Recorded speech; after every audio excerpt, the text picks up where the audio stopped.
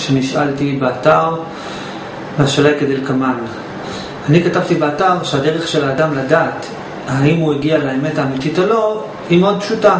כל זמן שיש לאדם שאלה האם הוא הגיע לאמת האמיתית, זה אומר שאדם לא הגיע לאמת האמיתית. ואני אסביר עוד פעם.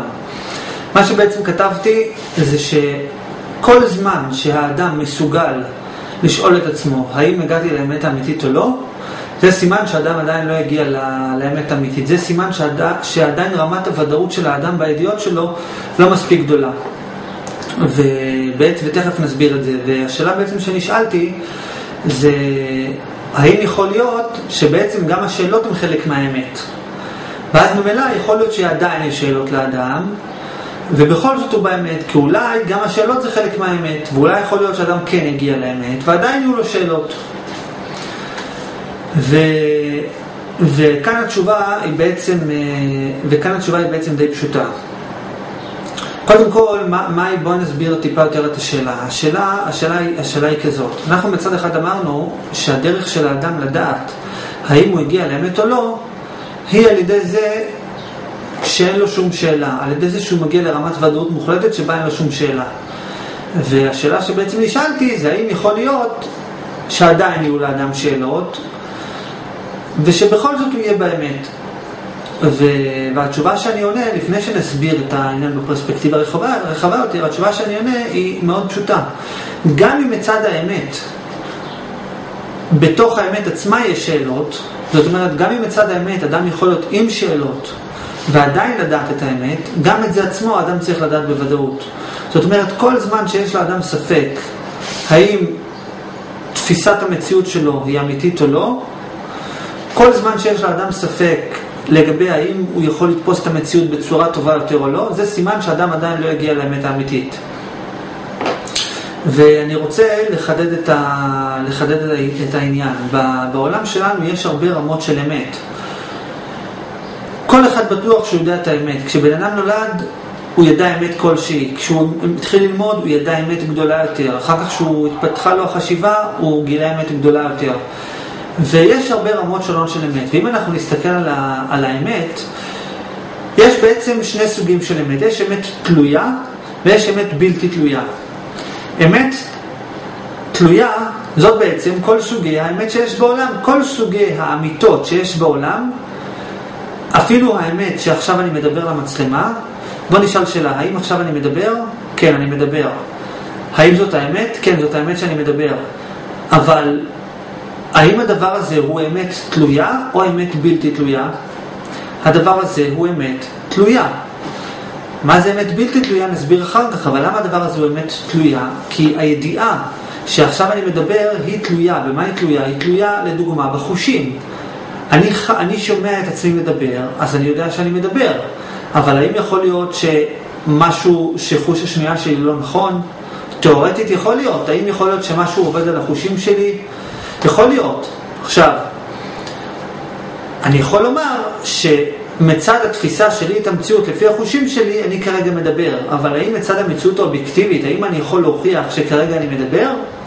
יכול להיות שרק מצד החושים שלי אני מדבר. אני אתן גם דוגמה, נגיד בן אדם שחולם חלום, ובחלום הוא מדבר עם מישהו. האם מצד המציאות האמיתית, שאנחנו מחוץ לחלום, או מצד הפרספקטיבה של התמונה המלאה, האם הוא מדבר עם הבן אדם? הוא לא מדבר עם הבן אדם, הוא רק חולם שהוא מדבר עם הבן אדם, אבל מצד המציאות האמיתית, האם הוא מדבר? הוא לא מדבר. מה קורה לדוגמה בשעת החלום? בשעת החלום, החושים של האדם, המוח שלו מטעה אותו, הוא חולם איזה חלום, ונדמה לו שקורה וכולי וכולי וכולי. ומצד האדם שחולם את החלום, כרגע הוא מדבר, וכרגע הוא עושה, וכרגע הוא הולך וכולי, אבל בפועל, האם הדבר הזה קורה? אפשר להגיד שכן, הדבר הזה קורה בתוך החלום, אבל מצד המציאות הגדולה יותר, היותר ערנית, שבה שכל גדול יותר, האם הדבר הזה קורה, הדבר הזה לא קורה. זאת אומרת שיש סוגים שונים של אמת. ועכשיו אני רוצה לחדד עוד, עוד, עוד, עוד, עוד נקודה. אוקיי, יש לנו כמה סוגים של אמת. האמת הכי נמוכה, או אחת מהאמיתות הכי נמוכות, זאת האמת שמבוססת על ידיעה חיצונית. לדוגמה, אני יודע שלראש ממשלת סין קוראים באיזה שם מסוים. עכשיו, איך, עכשיו, האם הדבר הזה הוא אמת? כן, הדבר הזה הוא אמת. אבל איך אני יודע את הדבר הזה? איך הידיעה, הידיעה שלראש ממשלת סין קוראים בשם מסוים, הידיעה הזאת, גם אם היא אמיתית, גם אם באמת קוראים לו כך, אבל מהצד שלי, איך אני יודע את זה? האם אני דיברתי איתו? האם הסתכלתי בתעודת זהות שלו? לא. ככה סיפרו לי. זאת אומרת, זאת אמת שמבוססת על סמך גורמים חיצוניים. סיפרו לי סיפור, שמעתי שקוראים לו בשם מסוים, ולכן נדמה לי שקוראים לו בשם מסוים, אבל האם הדבר הזה הוא אמת מוחלטת? האם הדבר הזה אמת אבסולוטית? לא, זה אמת שמבוססת על ידיעות. כל מה שמלמדים את הבן אדם, מלמדים, מראים לבן אדם, אה, מספרים לבן אדם, לדוגמה, שכדור הארץ זז במהירות מסוימת. האם זה אמת? כן, זה אמת, בדקו את זה, אבל האם האדם עצמו באופן עצמאי בדק את זה? לא, הוא מניח שמה שאמרו לו זה נכון. ו- ואני לא אומר שהדבר הזה הוא לא אמת, אני רק אומר שיש דרגות שונות של אמת. אחר כך יש את האמת, זאת אומרת, זאת אמת בעצם שמבוססת על כל מיני ידיעות חיצוניות. אחר כך יש לנו את האמת שהיא בעצם מבוססת על החושים. לדוגמה, אני אה, חש משהו, יש לנו את חמשת החושים, ראייה, שמיעה, טעם, ריח ומגע, ויש עוד כל מיני חושים, חוש התנועה וכאלה, אבל זה כבר עניין אחר. ובן אדם חש חושים בחושים, בחמישה החושים שלו, הוא חש דברים מסוימים. על סמך זה הוא מחליט, אה, אוקיי, זאת, ה... זאת האמת, הנה, אני רואה במו עיניי, אני רואה את הדבר. אז אם אני רואה את זה, זאת האמת. אבל נשאלת השאלה, האם באמת חוש הראייה של האדם יכול, אפשר להוכיח ממנו אמת אבסולוטית, אמת מוחלטת? אולי חוש הראייה שלך מטעה אותך, וגם בחלום בן אדם יכול לראות דבר שלם שקורה, והדבר הזה לא קרה מעולם. או גם היום לדוגמה, יש נגיד את הנושא של מציאות וירטואלית, שבה אפשר לחבר לבן אדם מכשירים מסוימים, והוא ממש יראה משהו, והדבר הזה מעולם לא מתרחש. ובעצם אנחנו רואים שעוד פעם, מצד האדם שרואה, נניח שאנחנו, שהוא יכול להגיד אני רואה, אבל uh, האם על סמך זה שהאדם רואה איזה משהו, האם הוא יכול להיות בטוח שבחושים שלו, האם הוא יכול להיות בטוח שהדבר הזה קיים? אין, אה, הוא יכול להיות בטוח, הוא יכול אולי להיות בטוח שהוא רואה את זה, אבל האם הוא יכול להיות בטוח שמה שהוא רואה באמת קיים? אי אפשר להיות בטוח. כמו שאמר מי שאמר, מה שאתה רואה זה לא מה שאתה חושב שאתה רואה. כי הרבה פעמים בן אדם רואה איזה משהו וזה לא באמת המציאות האמיתית. עכשיו יש רמת אמת גדולה יותר. רמת האמת הגדולה יותר, וזאת, ועדיין אנחנו נמצאים באמת תלויה. יש אמת שהיא תלויה בידיעות, במידע אינפורמטיבי שמגיע מבחוץ, יש אמת שמבוסס על עדויות, שגם הוא אמת תלויה. יש אמת שמבוססת על החושים, בעצם החושים הם, הם אמצעי הקלט, החושים קולטים מידע והמוח של אדם מנתח את המידע הזה, אבל סמך זו בונה ידיעות מסוימות ומניח הנחות. וגם האמיתות האלה הן אמיתות שהן תלויות, הן תלויות במידע שהתקבל מהחושים. זאת, ואני אחדד עוד יותר, נגיד שאני רואה מולי משהו ואני אומר, אני עכשיו יודע שהדבר הזה קיים, אוקיי, אבל הידיעה שלך שהדבר הזה קיים היא תלויה בכך שראית. אילו לא ראית את הדבר הזה, לא היית יודע שהוא קיים. אני רק אחדד.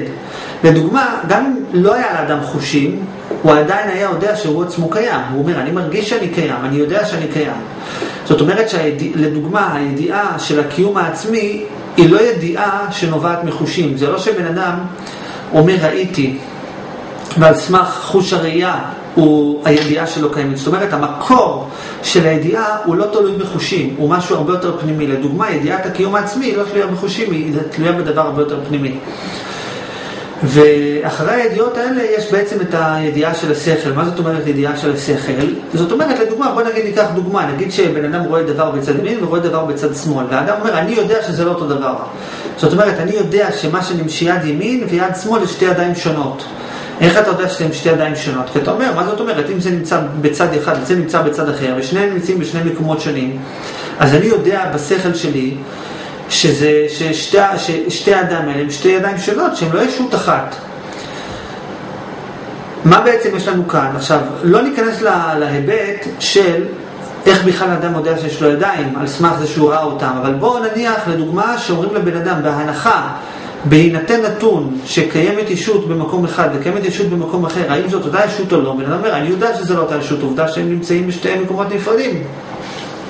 ואני אחדד את הנקודה, אני לא מתכוון להגיד האם הישויות האלה מחוברות, אוקיי? כי יכול להיות שהן מחוברות. אני מדבר, האם יש, ברגע שבן אדם אומרים לו יש ישות אחת ויש ישות אחרת, בן אדם יכול להגיד, אני יודע ש, ששתי הישויות האלה יש בהן משהו, ש, לפחות אחד, יש בהם לפחות חלק אחד קטן שנפרד אחד מהשני. למה? כי אדם לא מסוגל בדעתו אפילו לא לדמיין שני מקומות שנמצאים באותו מקום. בעצם זה שאמרת את המילה מקום וימין ושמאל, בן אדם לא מסוגל בבת אחת לדמיין שני מקומות שנמצאים באותו מקום. ולכן המגבלה השכלית של האדם לתפוס שני מקומות שנמצאים במקום אחד, היא לדוגמה מגבילה את האדם לתפוס ששני דברים הם ישות אחת, ולכן הבן אדם אומר, אני יודע ששני הדברים האלה הם שתי...